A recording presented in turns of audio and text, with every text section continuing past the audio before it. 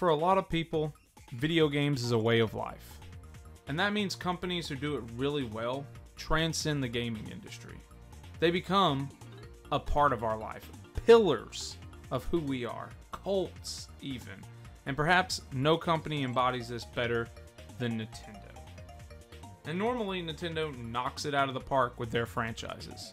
But I thought it'd be interesting today to take a look at their five worst franchises. Nintendo normally knocks it out of the park with their first party titles. Just look at Kid Icarus, how it revolutionized the gaming industry, spawning numerous sequels and giving us arguably the greatest video game character of all time, Pit. Ice Climbers was a juggernaut upon release. The game was considered so perfect, Nintendo decided a sequel could never live up to the hype of the original. So they have essentially retired the series. When Ice Climbers made it into Super Smash Bros., gamers around the world rejoiced. Sadly, or totally predictable, the ice climbing duos were too powerful, and as a result, they were subsequently removed from the series when Smash Bros. returned on the Wii with Smash Bros. Brawl. So, sure, Nintendo established itself as a major player in the video game market off the backs of series like Duck Hunt and Wrecking Crew, but not all of their series were a hit. Just look at Metroid. Metroid was a disaster and almost bankrupted the company, but Nintendo didn't want to give up on one of the female pioneers of gaming. Still, they couldn't justify putting her on home consoles. Thus, her sequel was given life on the lowly handheld, the Nintendo Game Boy. Metroid was given a second shot on the Super Nintendo. Another flop. Often cited as the worst release for Nintendo up at that point. Samus would be relegated to handheld consoles two more times. Not to mention, after the absolute butchering that was Metroid as a first person shooter, Metroid 4 was delayed and ultimately cancelled for the best. And not a single soul complained. It just goes to show you no matter how many times Nintendo releases an installment of a horrible franchise, true gamers do not forget past mistakes. So, with that out of the way, let's look at Nintendo's five worst franchises. Coming in at number five is Animal Crossing.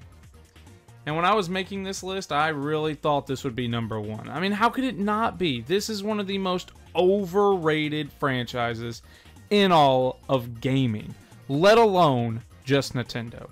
I mean, what do you even do in this game? Seriously. You play as a kid whose sole purpose in life is to befriend animals.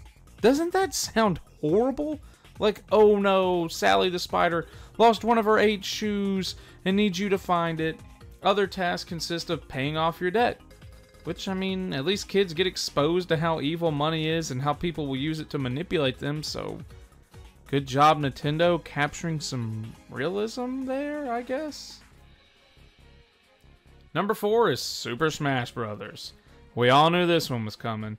Nintendo has long been loathed for repackaging and releasing the same games over and over and over with new paint and funny names. Is there a series that better embodies this than Super Smash Bros. Brawl? I feel like I've been playing the same game for 20 years. Like, I get it. The series definitely peaked on the Nintendo 64. Every game since has just felt like an ad campaign. Like, we get it. Fire Emblem, which honestly probably would have been number six on this list, couldn't sell worldwide. So they snuck in countless numbers of characters to try and brainwash us into wanting more Fire Emblem. Well, it still hasn't worked, and I'm just going to say it. Probably never will. However, they're getting really desperate. The next release of Smash Bros., slated for release on the Switch 2 this year, was announced to have a roster comprised entirely out of Fire Emblem characters.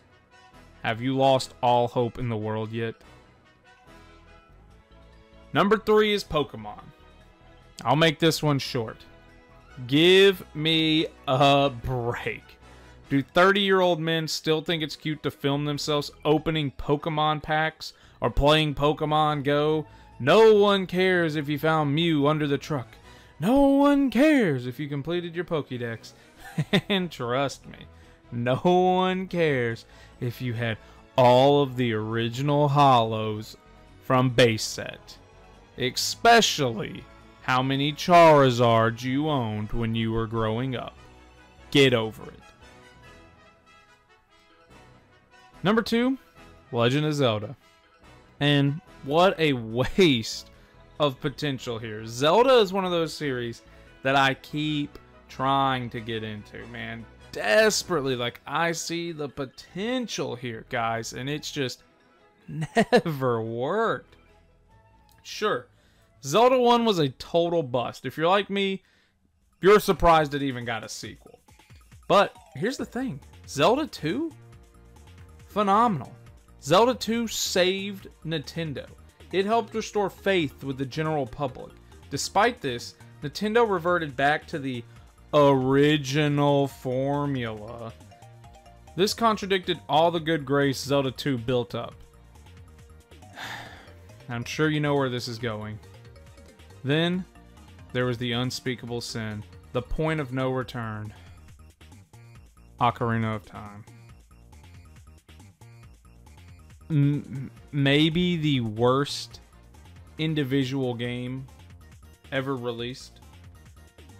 The jump to 3D just it just wasn't kind to the Zelda series. A lot of games went from 2D or you know 16-bit era and tried to make the jump and you can think of some of the good ones like Bubsy who did it perfectly. Zelda 2 just tried to be ahead of its time and the technology was not there. The jump to 3D it, it wasn't kind one bit. The Z lock on it tried it tried so hard to fix things, but arguably it just made it worse. Like the thing just did not work. The time traveling mechanic really just bogged down the story and made certain parts feel bloated. It was a total train wreck that the series just has not recovered from at all. Number one, Super Mario. And I guess we always knew it was going to be Super Mario. I mean, talk about a cash cow. At least other series like Call of Duty, Assassin's Creed, and Madden, those games attempt to at least change things up and add to each new release.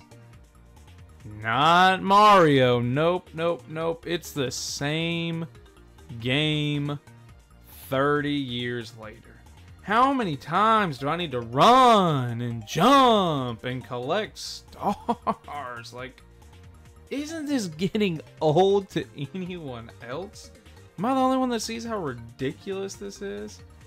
And not to mention, maybe the worst part, they just keep slapping Mario on anything and hoping it sells. Why do I need Mario playing golf, playing tennis, playing karts, and all the other countless side series? I can do all that in real life. Thank you. So, without a doubt, easily, Mario is the worst video game mascot, worst video game franchise, worst anything. Like, it is so overplayed. So that's my list, guys. Uh, you know, I don't want to be overly critical of Nintendo here. I mean, you'd think after doing video games for the last 30 years plus, they would have figured this out. But, man, I mean, you start talking like, when was their last good franchise they've done? We, we mentioned Kid Icarus and Ice Climbers. I mean, that stuff was that stuff was the NES era, you know.